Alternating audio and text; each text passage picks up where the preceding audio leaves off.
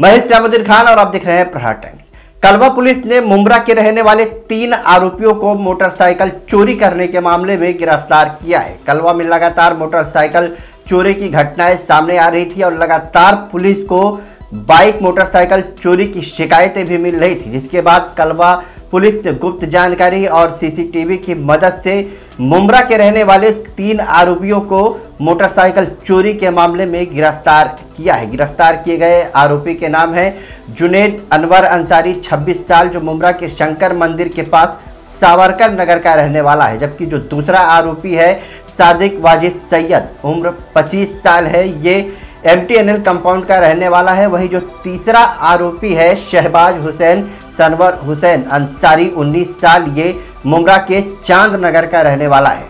ये तीनों लगातार कलवा इलाके में मोटरसाइकिल चोरी की घटना को अंजाम दे रहे थे, मगर अब ये तीनों पुलिस के गिरफ्त में है। पुलिस ने इनके पास से एक लाख पाँच हज़ार के मुद्दे माल सहित पाँच मोटरसाइकिल बरामद किया है और इन्हें न्यायालय में भी पेश किया गया, जहाँ पाँच मई तक इन्हें पुलिस कस्टडी में भेज दिया गया है। पुलिस ने इस पूरे मामले में क्या जानकारी दी है, आपको सुनाते हैं। सत्ताईस चार से अट्ठाईस चार।